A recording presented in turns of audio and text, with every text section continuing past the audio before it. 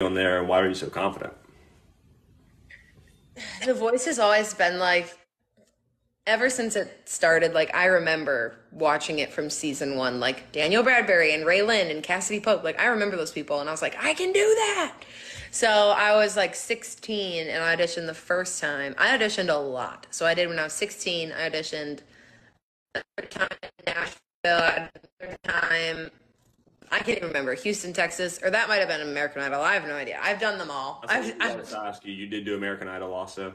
so I auditioned for American Idol when I was 15, and then I did The Voice, and then I did X Factor when that was in the U.S. I got almost got to the like live auditions, but I think I got cut right before that. I was in LA for right.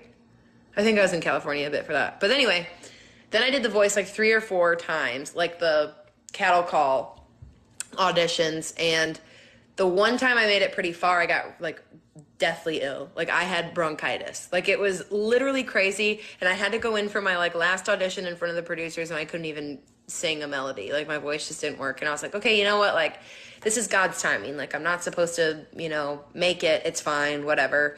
Um, and that was my last audition, and then COVID hit. So I don't know, like six months into that, I get a call from an LA number, and this was before spam calls were as bad as